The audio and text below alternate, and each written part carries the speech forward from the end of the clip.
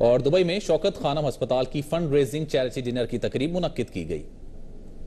شوکت خانہ memorial trust کے fundraising event پہ ہوسٹ فخر عالم نے دبئی کے لوگوں سے یہ ریکویسٹ کی کہ وہ اس کوز کو ہمیشہ سپورٹ دیتے رہے۔ پاکستانی کرکٹ ٹیم کے کھلاڑی ٹیسٹ کپتان مصباح الحق ٹی ٹوینٹی کپتان شاہد افریدی اوپننگ بیٹسمین احمد شہزاد، عمر اکمل، عمر گل، سہیل تنویر اور سرفراز احمد موجود تھے۔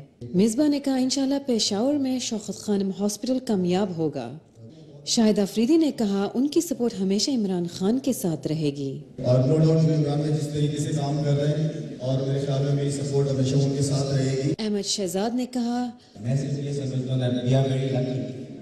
that we can do whatever we want we can do whatever we want in our life God has been very kind all of us